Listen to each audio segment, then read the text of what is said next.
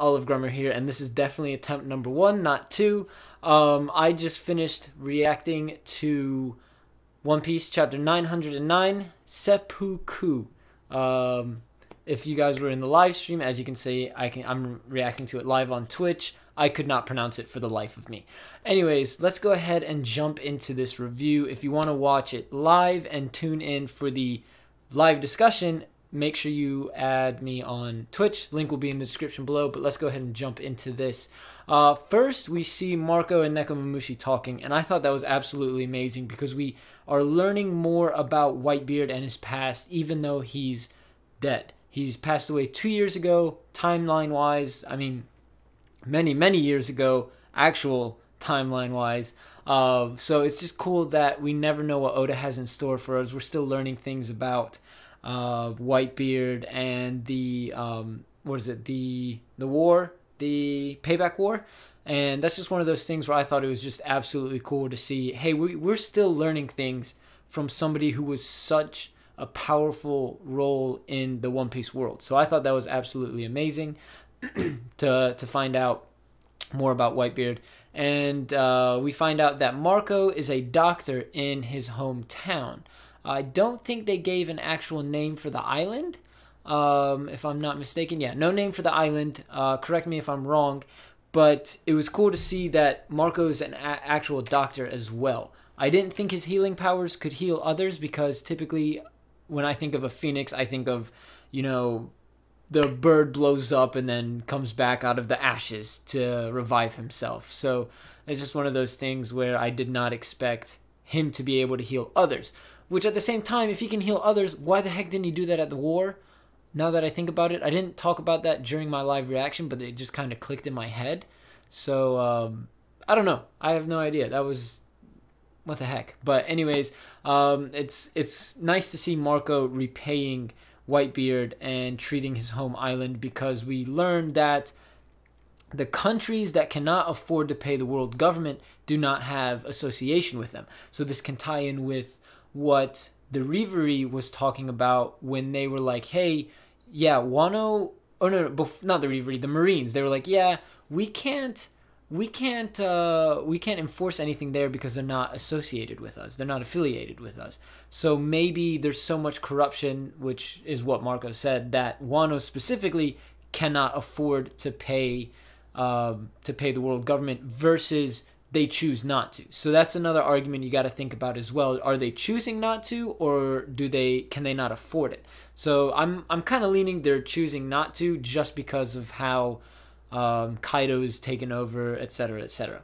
Um, another thing we ner- we learn is that it's the resting place of Whitebeard and Ace. Awesome to see Shanks Shanks know about where to bury them and just keep it keep it the way it is. Um, one thing we got to think about as well is since Marco's there, where's Jozu? Where's the rest of the Whitebeard pirates? We don't know that they're dead officially, but we know we know they decided, hey, we got to return this favor.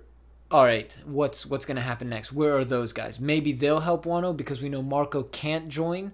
He needs to protect the island. I really wish he could join because I mean, dude, I would love to see Marco work with work with Luffy and the Straw Hats. That would have been amazing. But I guess at least we, we get to know about him and that he's doing well and he's taking care of those villagers in that village. Uh, another thing we need to talk, we learned about was the fact that uh, Bakkin, the self-proclaimed mom of Whitebeard's son, not self-proclaimed uh, wife of Whitebeard, uh, mom of Whitebeard's son, she used to be on Whitebeard's in Whitebeard's crew. They were on the same pirate ship together, but she wasn't under him. So maybe they got it on. I don't know. I don't. I, I feel like I feel like they didn't though, to be honest with you, because he's so young compared to her. So that was 40 years ago.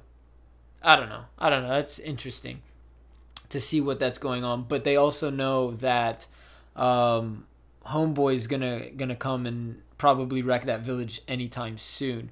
So we just gotta we gotta be on the lookout for Weevil. What's he gonna do? I'm very excited to see him soon because uh, they brought him up again. And then another thing about the um, Weevil and kind of the backstory on that. Before even Weevil came into the picture, we know about the uh, Payback War. Something I wanted to bring up was how Marco said that White, not Whitebeard, Blackbeard tried to take over the island or something like that. So I wanted to. Um, I, I had a theory that the Gorosei initiated the Payback War, and I'll, I'll talk about that in a theory video or something like that a little bit later. And I'm starting to doubt my theory just because of the fact that Marco was like, hey, no, he tried to take over this island, which makes me think the island was safe. So I don't know if they actually lost or, well, they said they lost, but was it really a loss, you know? Because um, the end goal was to keep keep the island safe. Another thing, we finally see Wano country for the first time. We saw kind of, we saw Kaido here and there, but we actually get to see the country in itself, which I thought was was beautifully drawn. Oda and the illustrators and the artists did an absolutely amazing, amazing, um, amazing portrait of how Wano Kuni is uh, drawn and portrayed, and absolutely fantastic. We also see that the Straw Hats are undercover. I didn't think they would be, but then I two pages into once they got into Wano, I was like, oh, they're undercover here. Uh, I didn't expect that to happen, but I guess that makes sense. I wonder how long they've been there for. It's yeah, it is beautiful. It's absolutely beautiful. So I wonder how how long they've been there to be able to have jobs, uh, stuff like just blend in. So that's kind of interesting as well. Now another thing is that oh I did forget to mention that Marco has a message for Luffy, and I really wanted to know what that message is. So we'll we'll find out soon. so we find out the name of the shogun. His name is Kurozumi Orochi. Now he, I saw a similar resemblance to the um, uh, celestial dragons when they get touched. Obviously, the admirals come in. So when the uh, shogun comes in, they get touched Kaido's gonna find out. So I found some similarities there. I was like, ah, okay, all right, Oda, I see what you're doing because he does like looping things around and bringing in the same concept somewhere else. So I thought that was really cool to see. Uh, Franky, Usopp, Robin, Zoro are all there, as anime said. I was reading it on my cheat sheet as you type that, and we see that the ninja and the samurai are there as well. um, so we've got Franky. uh, Frank is a carpenter, Zor- Usopp's a salesman, obviously, selling, and Robin is a geisha, and respectively, while Zoro poses as a Ronin. Okay, so this part was dope. Everyone's, a, lot of people are talking about Zoro, but I still think there are a lot of other things we need to talk about as well. I love that Zoro's back. Zoro's one of my favorite characters of all time. Uh, I am Zoro fanboy, you know, I'm not fanboying him, but he's on my favorite characters list. Uh, so I was really excited to see him join as well. So the main, the Magistrat frames Zoro for murder and theft and then takes the sword for himself. Oh, okay, so that's what was happening. Zoro was getting framed. Got it. Uh, so then what ended up happening was Zoro was like, no, you're the one that did it. You smell like blood.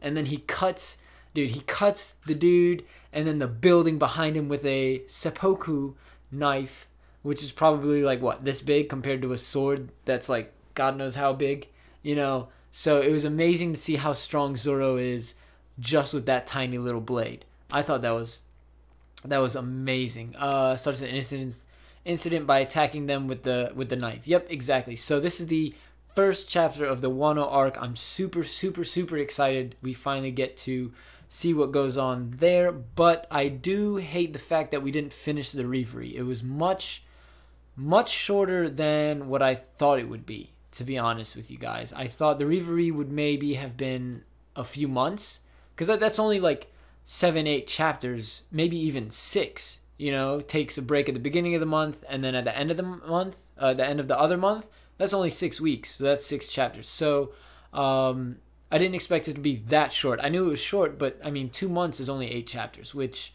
really isn't that much if you think about it. Um, and I mean, I'm just excited for all of all of Wano. Now we finally get to see the group meet back up together. I can't wait to see Zoro's bounty increase because, um, because Sanji's increased, and I want Zoro's to be higher than Sanji's just because he's the right hand man. Um, it's called Tanto, but you could also Wakizashi to Seppuku too. Oh, okay, got you, got you. Names. I'm learning. I'm learning. But overall, what am I gonna rate this chapter? Honestly, it was a solid B. Um, it was a lot of revelation, not enough action in my opinion, but you know, it's just my personal opinion. But the stuff we learned is A quality material off of Whitebeard, uh, Blackbeard, Marco, Nekomamushi, even what Shanks did where he planted the graves. I mean, all that stuff was absolutely awesome. And then the very last panel, I'm sorry, Kinemon. Boom, Zoro killed them. Uh, it was A quality material, B, B, B overall chapter, if that makes sense. I don't know how you can add that up, but hey, we're going average here. So um, overall, I'll just give it a B. Honestly, just a, a mid B. It was 85, 80, mid to higher, mid B, 85 uh, to 87. It was just one of those things. I'll give it a D for delightful. There you go. I almost, I thought that said Dellinger, but we're past Dressrosa. D for Dressrosa. Uh, I wish there was more action, but Oda wanted us to be in Wano. Yeah, exactly, exactly. So I'm gonna go ahead and end the recording. I'll live stream for a couple more minutes after this just to talk to you guys. If you haven't uh, followed me on Twitch, go ahead and follow me on Twitch. The link will be in the description below, or just look up Olive Grummer. Nothing new. Um, and I think that hits all the main points. Looking forward, I know there are a lot of things we need to look forward to in Wano, but that will be a separate video in itself. Things to look forward to. Um, so I think other than that, thank you guys so much for watching this review, and we'll see you guys next time. I hope you enjoyed the new approach, and this is, again, take two, so I don't know what I said in the beginning. Anyways, guys, see you later.